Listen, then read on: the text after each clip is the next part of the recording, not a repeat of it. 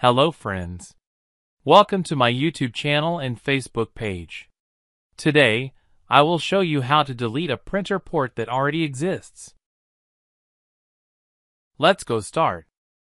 Select the Microsoft Print to PDF option and go to the Print Server Properties and click it. New Windows pop up and click on Ports.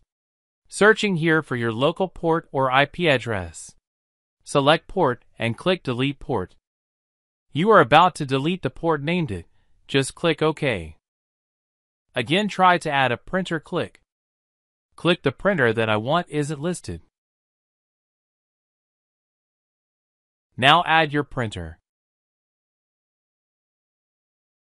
If you are first visiting my YouTube channel and Facebook page, please subscribe, like, follow and notify the bell icon click and see your next updated video.